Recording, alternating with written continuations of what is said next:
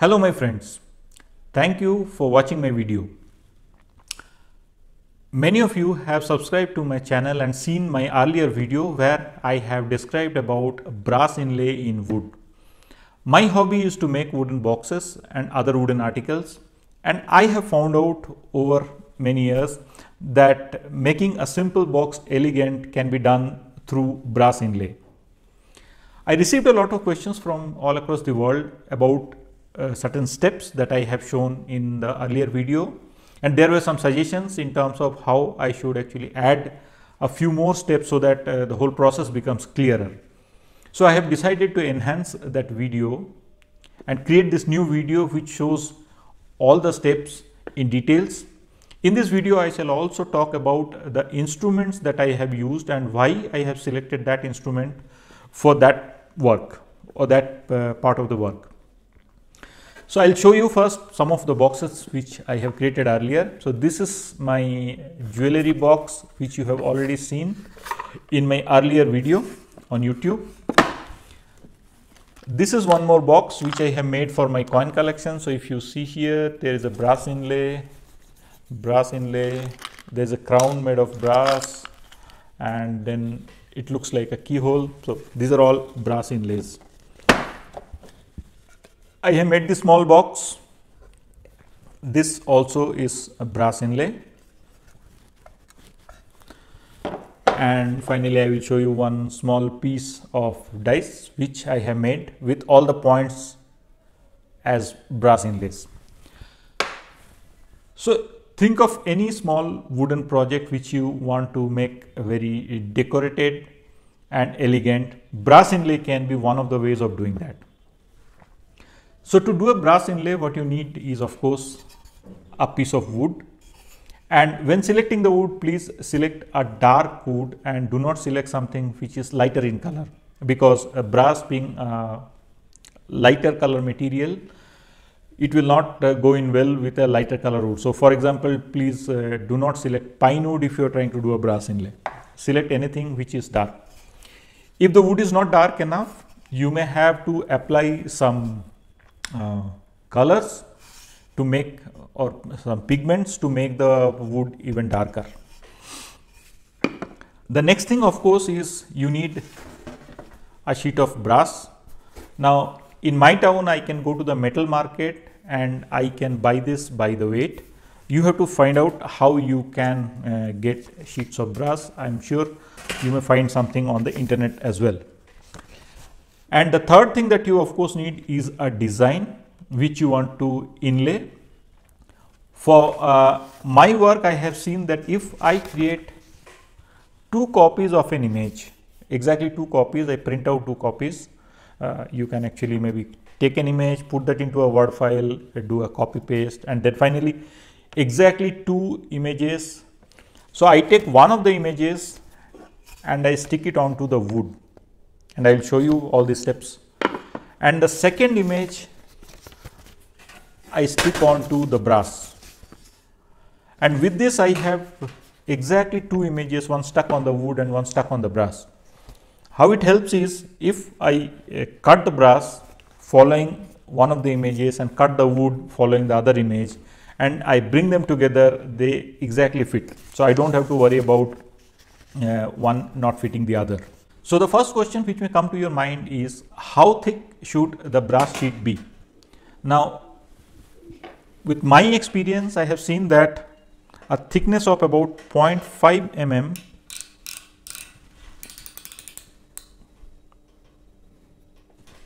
a thickness about 0.5 millimeter is good. This can be a good starting point for you you need not uh, go higher than or thicker than 0.5 that is not required. You can settle down at a thinner material after you have tried out some thicknesses but to uh, make your first project you can select 0.5 millimeter that would be my suggestion and I will tell you why. So the two images that I showed I have cut them into two parts and one of the images I have stuck onto the wood and the other one I have stuck on to a piece of brass. So they are exactly same. you can see they are exactly same and then I will start with my cuttings. So first I would like to take out the image portion of the brass from the rest of the brass sheet. So now I introduce you to one of the instruments which I use and which is probably one of the uh, most important instrument in this entire process which is my favorite Dremel tool. I'll show you the box. So I use a Dremel 300 but I understand there are many versions and uh, I think any one of them should work. Yeah, so this is the box. So this instrument I use for cutting the brass or cutting the portion of the brass uh, from the big sheet that is one task I will do and the other thing that I will do is to uh, use this Dremel for making the engraving inside the wood. I will come to the wood part later but first let me go and cut this off the sheet. With my Dremel plugged in, this is the Dremel cut-off wheel. So I have used a Dremel cut-off wheel at the tip of my Dremel tool and this I will use to cut off the portion of the brass.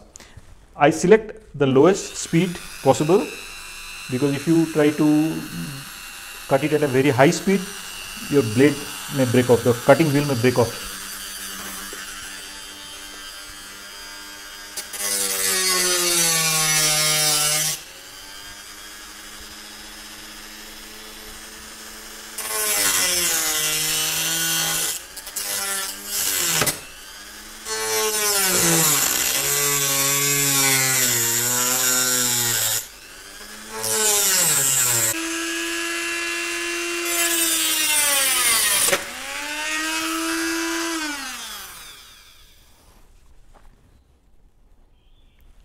you see you have to be careful about these discs. They break very easily especially if uh, they are hot and they are bent.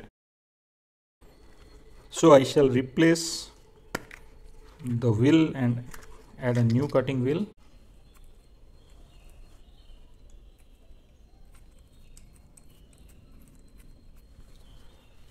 And then I tighten the wheel with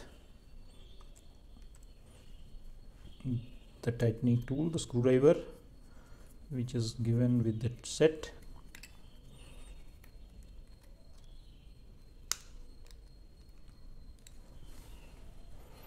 So my tool is ready and I continue to cut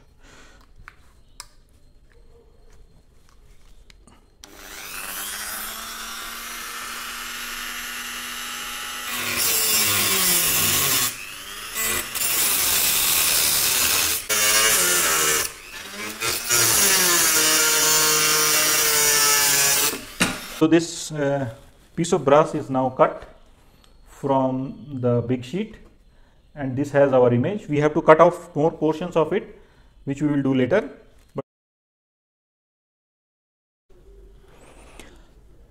so you have seen that how I have cut off a portion of the brass plate using my Dremel cutter, Dremel tool with a circular cutter in the front.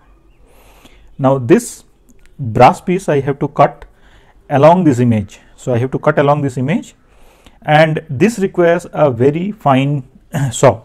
You cannot uh, do this cutting with the Dremel because the Dremel tool is good for doing fast cut, but definitely not the tool to do a fine cut. For doing this fine cut, you need a jeweler saw. If you see the saw, this saw has a long arm. This is long because you can cut deep inside your project. And here you can see you have a wire.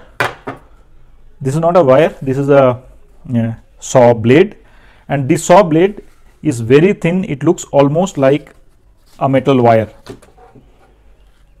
And these are available again in the jewelers market. You can of course uh, get these online maybe in amazon or some other uh, site. And these are numbered like 3 by 0 4 by 0 there can be other numbering also.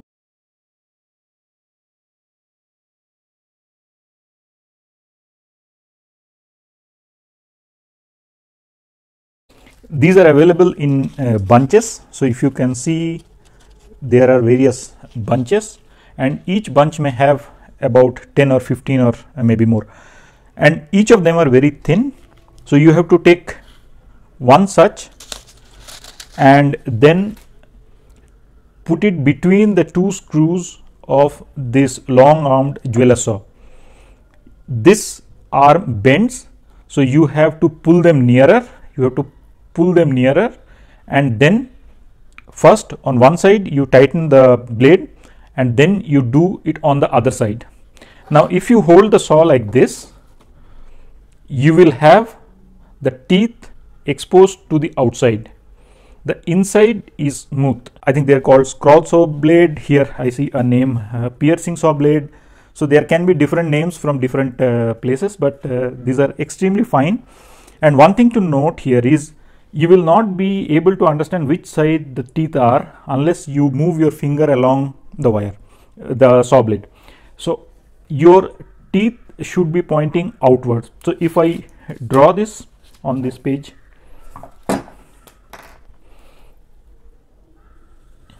this is the arm and I have the blade on this side. So this is the outward side and this is the inward side. So inward side is plain and next step is to create some holes in the white portion of this plate so that the thin wire saw blade can pass through it and I can start my cut. If I want to start my cut on the sides, I do not need this hole because I can start from an edge and keep cutting inside. But when I want to cut something inside, I will not be able to get inside unless I make a hole first. So, so my next step would be to create a hole in this uh, metal sheet. So now to make this hole, I need a drill machine and I have to select a very fine drill bit. I can select either a 1.5 or a 2 millimeter for this. So this is a 2 millimeter which I have selected I think I can work with a 1.5 millimeter also. So now I have uh, the 2 millimeter drill bit on my drill machine which then I will make some drills, drill holes into the white portion of the workpiece. Please remember you do not make a hole into the black portion because the black portion is what you want to keep. This is my first hole so first one is done. I'll make one more here.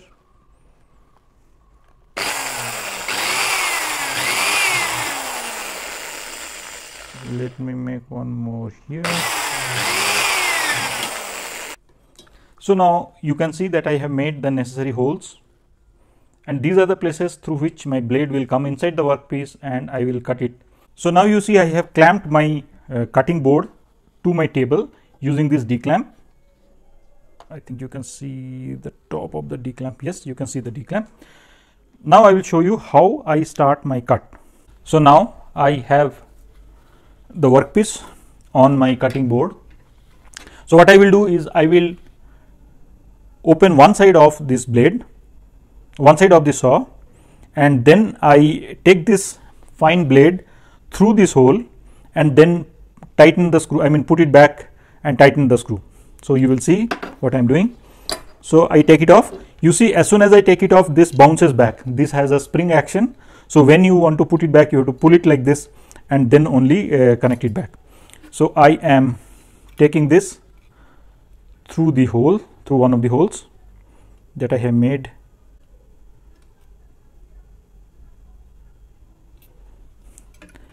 and now that is done so next step for me is to attach the wire back. So what i am doing is i am pulling this i am i am pulling this attaching this wire to the other end the one which i opened earlier. This saw blade which has gone through the hole and now i am ready to cut.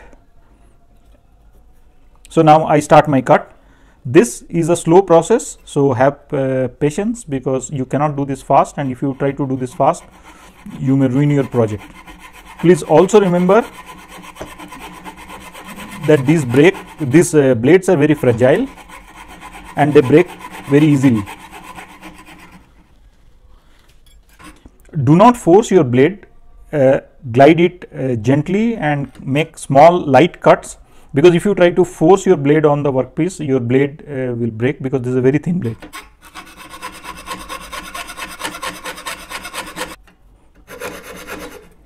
so corners are a little difficult so you have to uh, move it little at a time till you have reached the other line I'm almost done. I'm almost done. A few more strokes and I will have this piece off. And please remember to remove uh, the blade. Again you have to repeat the same thing. You have to unscrew at one of the ends. Then take the blade out from your workpiece. This is a step you have to repeat again and again and you can see that now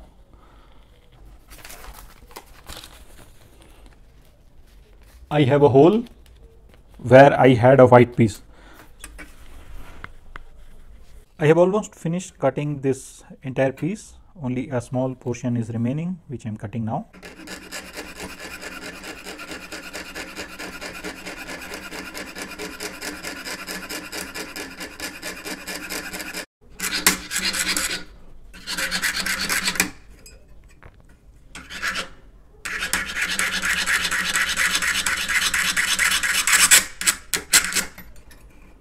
So now I have completed the cut of the brass.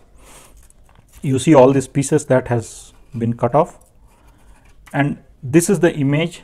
Now you can see the image clearly. This is the piece which now will be put inside the groove that I will make in the wood piece. If you see the other side, you can see this is the brass piece and this is the mirror image and this has the paper stuck to it. So once I have embedded this, once I do the sanding this side, the paper will. Now as I have cut my brass piece and now I am ready to cut my wood piece that is cutting the groove inside the wood. I'll talk about what are the instruments that I use for doing the wood grooving.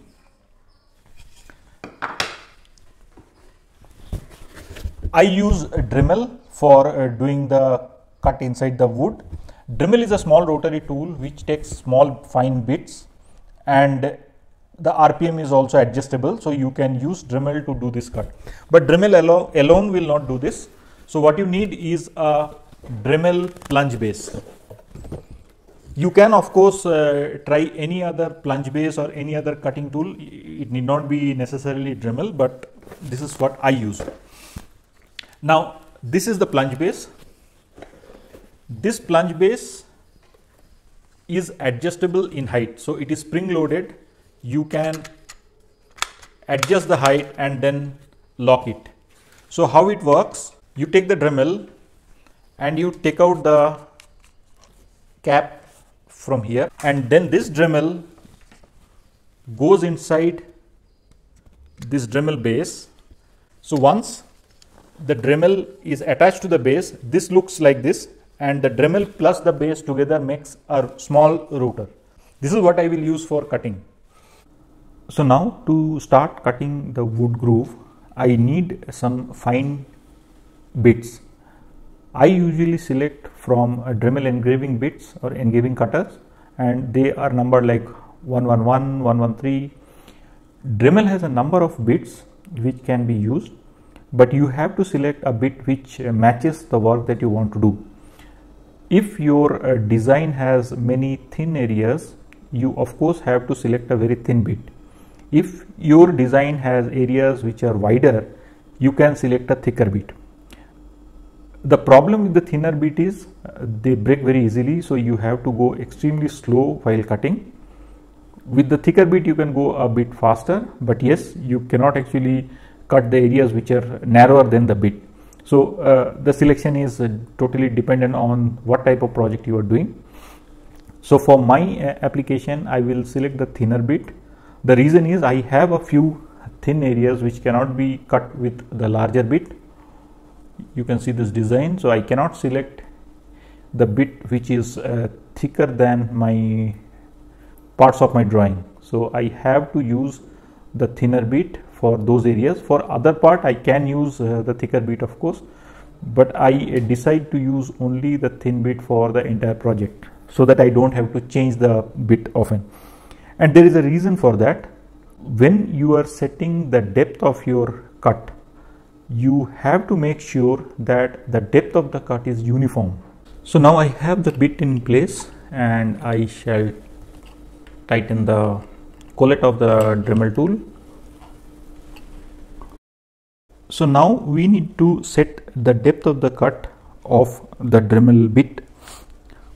How we do this is uh, this is the piece that we have cut. So what we are doing is this we place at the bottom of the frame or bottom of the plunge router base as we call it and then match it against the blade. So the depth of the cut should be at least equal to the thickness of the plate. It has to be as deep as the plate because otherwise the plate will not go inside. You also have to consider that we are applying a layer of glue which will have uh, its own thickness. Plus to uh, take care of uneven surface within the wood it's better to cut a little deeper so that my uh, brass piece sits inside and the wood is a little proud. I'll try to explain this through a drawing. If this is my wood surface and this is the groove that I make and if my brass piece is this thick I have to consider that there will be a layer of glue here. So the glue plus my plate thickness should definitely be what I cut but I would cut a little more so what this will do is this will give me a groove which takes this and also takes care of unevenness if any on the wood surface. So when I do the sanding, I will sand off the wood and then I will reach the brass surface and then we are done. So your cutting depth should be a little more than the thickness of your plate. One other important thing to uh, understand is when we are doing the cut, it is essential that we have the depth of the cut constant for the entire project. If we do not do that, what will happen again I will try to draw and explain if I have two parts in the wood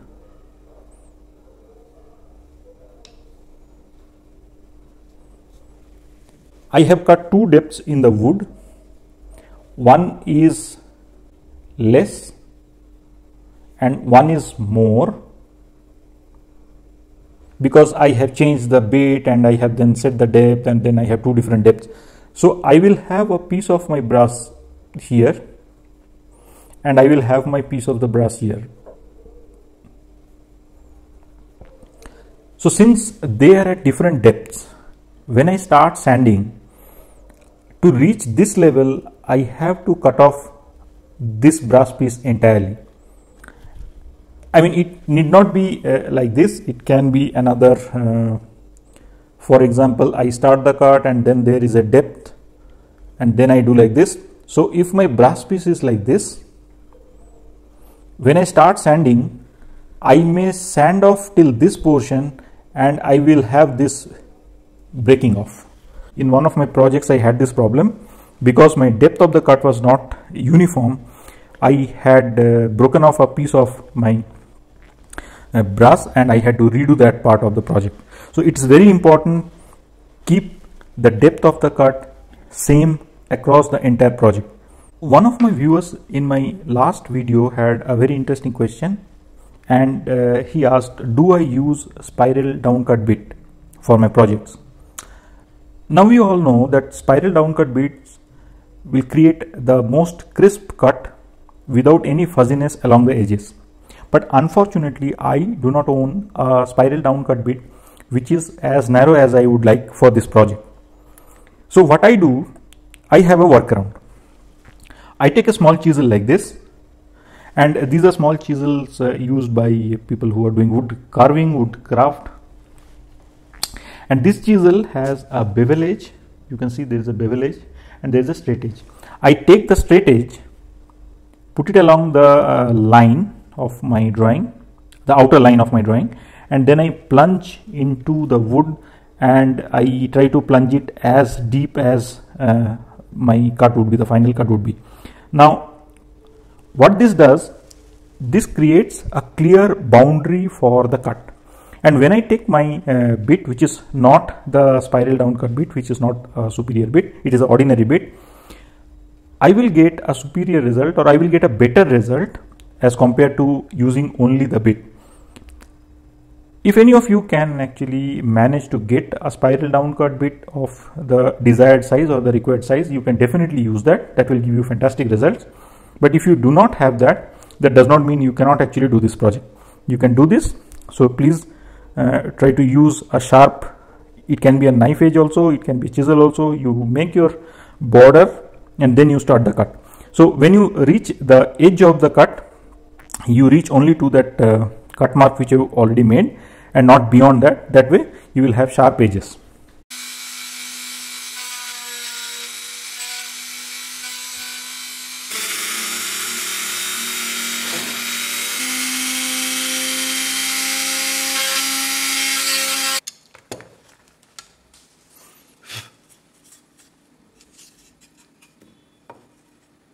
So what I do uh, once in a while after I have made my first cut, I take a piece of the brass cuttings that I have generated while cutting the uh, large piece and then I place it inside the groove just to see whether I have the necessary depth because if I feel that I need to cut a little bit more then I can change the depth of the cut and do the rest of the project with this uh, with that cut. So you can have a small piece of the brass from the same brass sheet and then insert that into your cut just to check if the de depth is correct. Now I have completed cutting the wood and you can see this is how it looks like.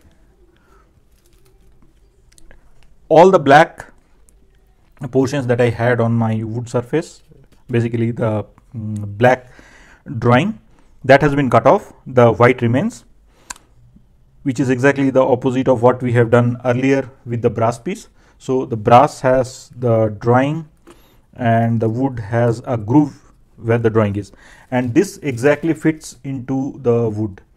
There is a little play because I made my groove slightly deeper than the thickness of the brass. So the next step is to put glue inside this groove and then hold this piece, hold this brass for the setting time of the glue. Now to glue my brass piece into the wood, I need some sort of adhesive. I prefer to use uh, epoxy based adhesive. Now for me in India, one of the popular brands is Araldite. There can be various other brands available of course. This has two parts. One is called the resin. The other one is called the hardener. I have a bigger uh, can you can see. So this is the resin and this is the hardener. So these two needs to be uh, mixed in equal proportion and that becomes the adhesive. So I have taken some amount of the resin and now I shall take a equal proportion of the hardener this I have done through eye estimation. Uh, I am not measuring or I am not uh, weighing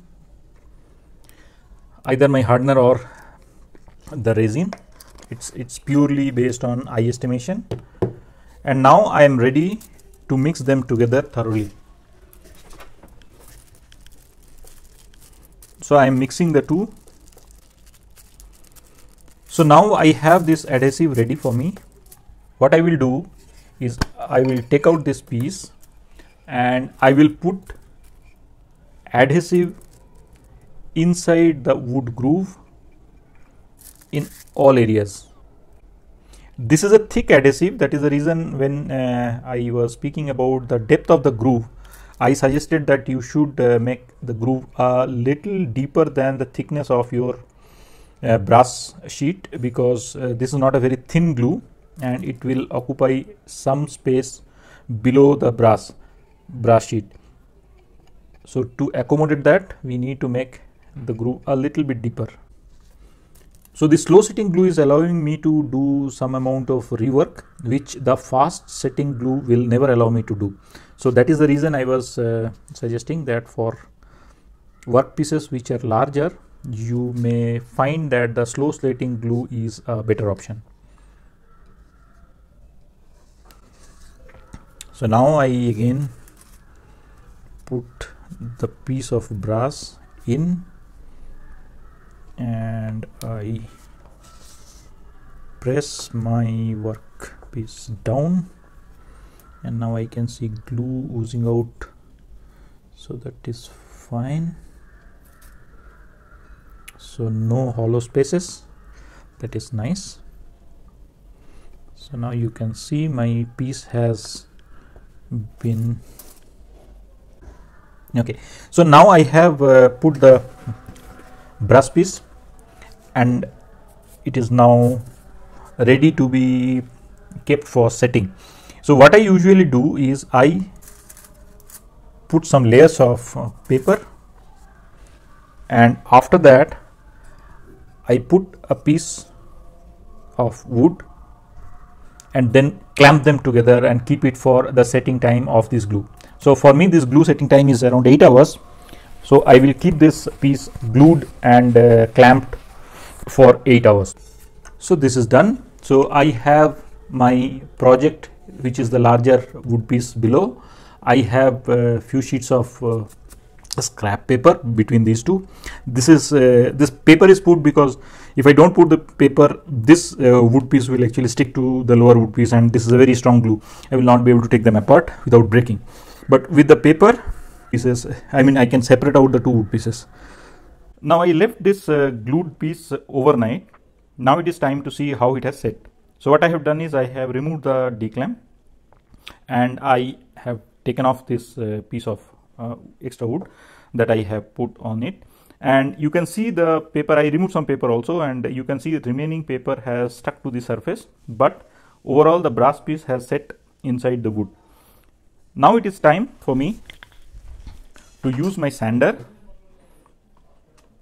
So this is a random orbit sander. So with this sander, I will sand off this surface and with that you will see uh, the paper has gone and the black color will be also gone because that is also paper and you will see the brass coming out of uh, this and you can see the wood and the brass which would be the final form before I finish it with a layer of lacquer or varnish. Now after the rubbing is over with random orbit sander, you can see now the brass piece is very clearly visible embedded in wood. So this uh, finishes off the project. Only thing remaining is to cut off the wood and then put a layer of uh, polish or a wood finish so that the brass is protected and so is the wood. It is possible and uh, I intend to do that to use some pigment to make the wood a little more darker. That will help this brass to stand out more clearly in this wood because this is uh, this wood is dark but not as dark as I would like this project to have. So I will put some pigments and after I have put those pigments I will put one layer of finish.